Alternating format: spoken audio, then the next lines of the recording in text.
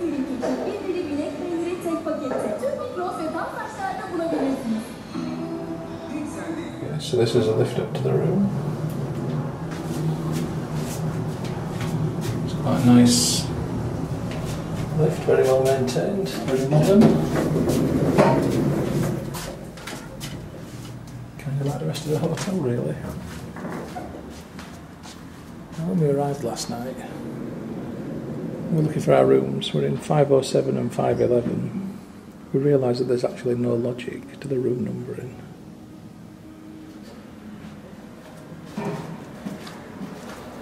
because 507 isn't next to 505, 506, 508, or 509. It's next to 511, which is good because it's what we wanted. But it's a bit weird as well. Our room, 507. We'll have a look inside.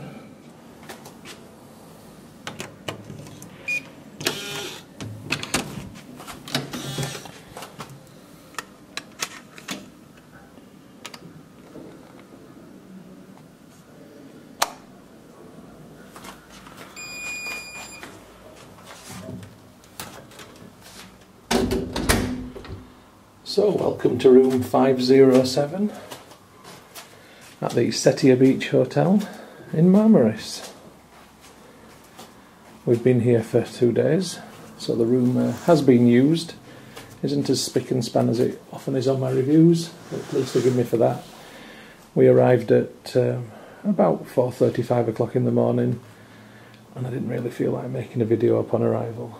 And I think my wife would have killed me if I had done. So, we'll just have a quick spin around the room and then I'll talk you through what we've got.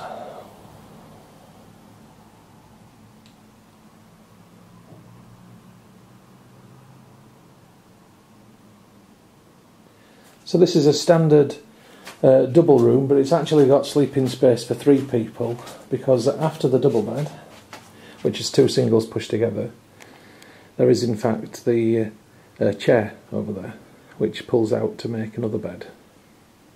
It's actually very comfortable. The beds are incredibly comfortable. I cannot stress enough how comfortable these beds are. Uh, the quilts are lovely. It's so nice not to have a scratchy blanket and a sheet. And the pillows are fabulous. Actually, really fluffy, comfortable pillows. And so often when I come abroad, all I'm left with is a flat as a pancake pillow and only one of them. And we get two each year, so really good.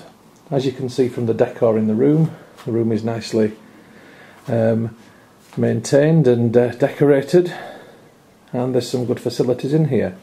Now, one of the things that is unusual for a hotel um, in a beachy area is carpet. But the floors in these rooms and in the corridors are all carpeted, which means that the hotel is generally quieter. You don't get the noise of people's chairs being dragged across the floor above you you know that familiar noise, that scratching, scraping noise? You don't hear that whatsoever here, which is really good. So the room itself is a, it's a warm and comfortable room. It's a little bit too warm at times. There is air conditioning, which we have paid for. Well, sorry, we haven't paid for because you don't need to pay for it. So let me rephrase that. And it's on the coldest setting. It's just come on again now because I've just turned it on. But after a few minutes, it seems to die down and do nothing. So it's either not very good air conditioning or, well, I don't really know what else to say. Anyway, there's a, a good size uh, table there which you can use as a desk or a vanity table, and there's a chair which you can pull at it. There's a television which has got international channels, including Turkish, uh, British and Russian. There's BBC News on there and other things like that. Um, we've got this chair here, and then we have the room joining doors with next door. So we've got the room next door as well because our kids are in there. Um, and they've got 511, we've got 507. So you get next to the beds, you've got these bedside uh, things for which is stuffed with clothing mine. There is a bit of a lack of uh, clothing storage space here, that's something I must point out. Um, bedside lights, comfy headboards, telephone on that side. um, and a drawer just there on that one side only, but not on that side. Um, full length mirror and lamp. Yo. So the wardrobe is here. I can open it. It's a bit slippy slidey. You've got to grip it on this end and pull it. So this is what you get. You get one, two, three, four, five, six, seven, eight coat hangers, which for two people for a week isn't very much. And they're the only two sort of clothing drawers. So one suggestion for this for the Cettia Beach would be more storage space for clothing and more coat hangers. There's a safe down there, which is one where you put your own combination in, but in order to use the safe, you have to get a code from reception, which invariably is not free. Um, that said, it wasn't um, expensive. I think it worked out at 30 lira for the week, which is about £10 or thereabouts. I Must point out inside here is the minibar. And unlike many minibars, everything that's in it, in fact, most of it's gone now actually, but there were several bottle, a couple of bottles of water more, uh, a couple of cans as well of uh, pop. Everything that's in there is free. So once it's gone, it's gone. That's basically how it works. We're on all inclusive, which is why we've got that freeness. And here's the all inclusive wristband, as you can see, set here on it. And this entitles you to um, basically everything that you could want reasonably. From uh, there's three different breakfasts. There's an early breakfast, there's a mid morning breakfast, and then there's a late morning breakfast. Um, it's not English style, obviously. It's all Turkish style breakfast, but there is a, a continental croissant pastry option amongst them. Uh, then there's lunch, which is 12 to 2. And then if you're hungry after lunch, there are burgers and chips served at the bar. And then there's also ice creams. And then you've got your dinner. And then for those that need to eat late at night, then there's more burgers and chips. And then at midnight, there's soup. So you've got food all day. In terms of drink, uh, there is alcoholic and non-alcoholic drinks available. Um, pretty much from breakfast. Well, sorry, the alcoholic drinks are available from 10 o'clock in the morning until midnight and the non-alcoholic drinks are available from breakfast until uh, midnight, basically, including tea and coffee and juices. The alcoholic drinks are local lager, Efes, um, local wine, which is called Asma, red and white. The white's okay. I've not tried the red. And then there's vodka, gin, whiskey, um, a banana liqueur, a coconut liqueur, and something green. There's not really a lot more than that, but you know we've been fine on that. And obviously, you know, you can have vodka cokes and stuff like that. Um, there's also a cocktail of the day which is included on the all-inclusive as well. Right, the bathroom.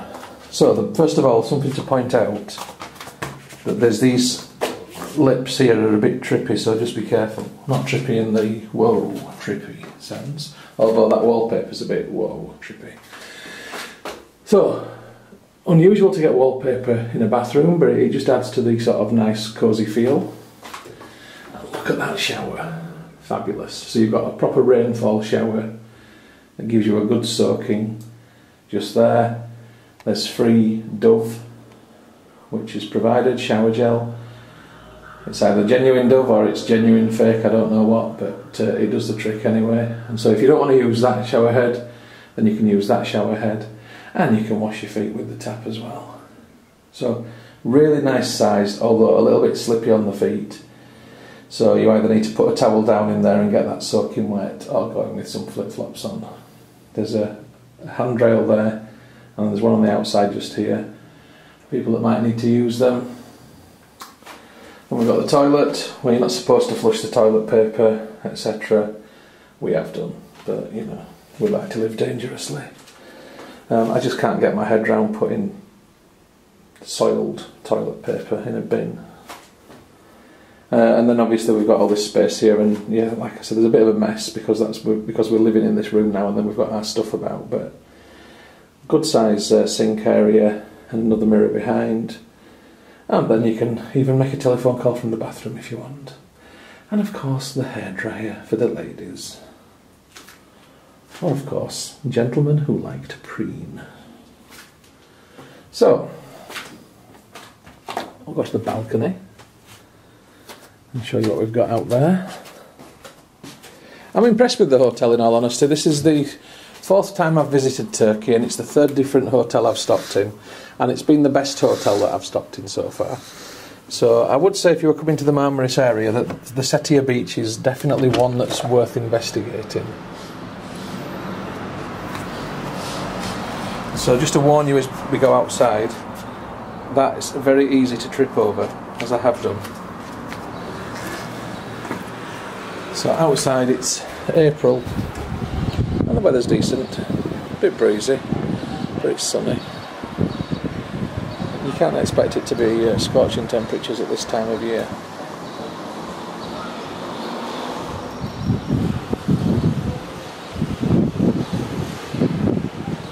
And then on the balcony itself, you've got your table and chairs, and of course the comedy uh, English spelling. You spot children. Can you pleasure? Love it. There are some funny things like that that we spotted on the safe um, for the German instructions there in English and for the English instructions there in German, which was quite amusing. Anyway, just one last pan around the room. So the Cettia Beach Hotel at Marmaris, and then I'll spend the rest of this footage just showing you shots around the hotel itself and of the entertainment, uh, which has been generally quite uh, amusing, light-hearted, and quite fun. And the staff have been lovely, very, very friendly.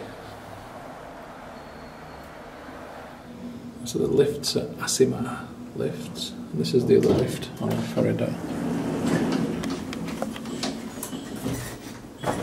There's a slight, slightly pungent smell in here. Not sure what, but this is a lift all the way down to the uh, restaurant and beach with a view.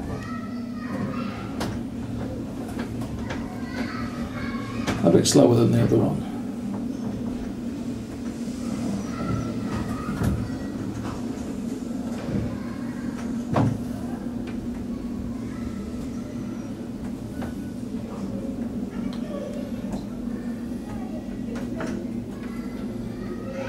This is the bar, which is quite a nice bar actually.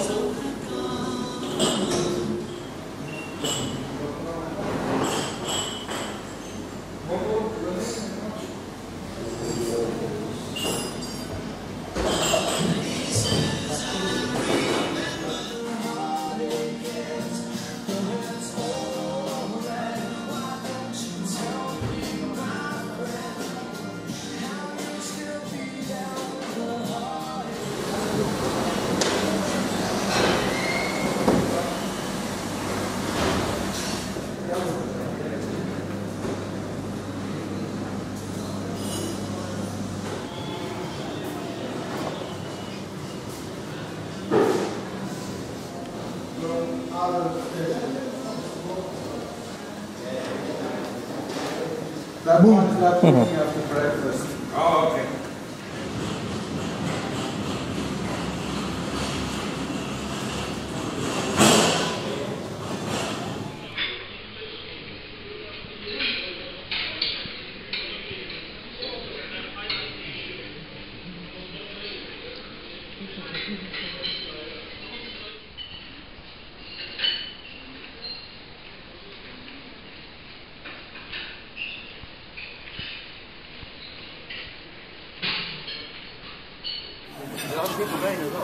A lot of people going as well. Okay? Yep, you go for it.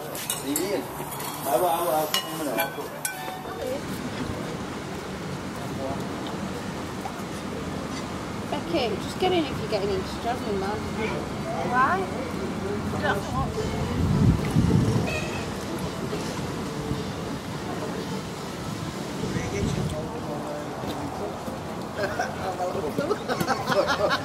Ooh,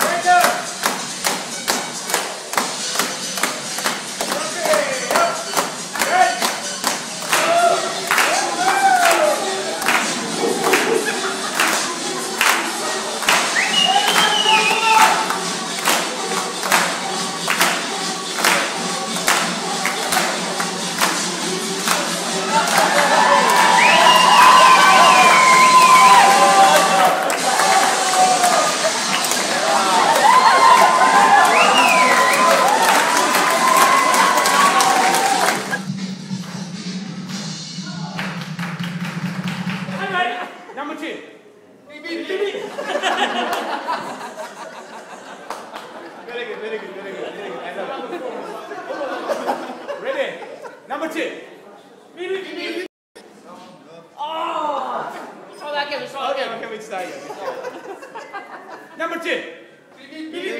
Number four. Ah! Number two.